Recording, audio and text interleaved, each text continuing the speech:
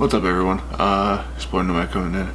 Just want to make a quick video. Um, I want to say thank you to everybody that showed up at the meet and greet yesterday. It was a great turnout. Um, even though it was about 30 degrees when we showed up. 40 degrees I think when we were leaving, but with that wind, it was it was crazy. It was cold.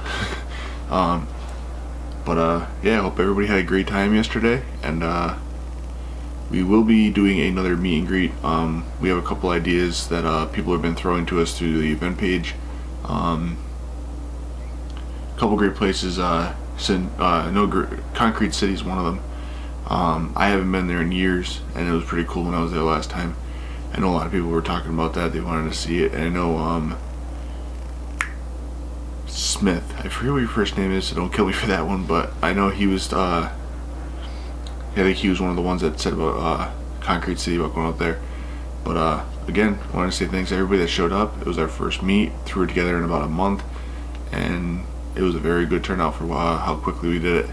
Um, I think it would have been a much better turnout if the weather was good, but Mother Nature was against us, as we all know, Northeast Pennsylvania, well, Pennsylvania in general.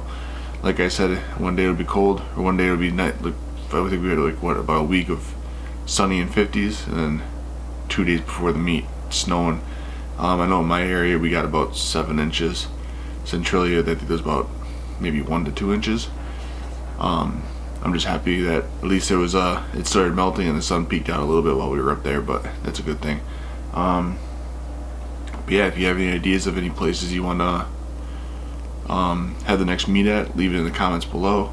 Also, uh, today is uh, March 4th. Today is actually JP Video's birthday. So go over to his channel, comment on one of his videos, tell wish him a happy birthday.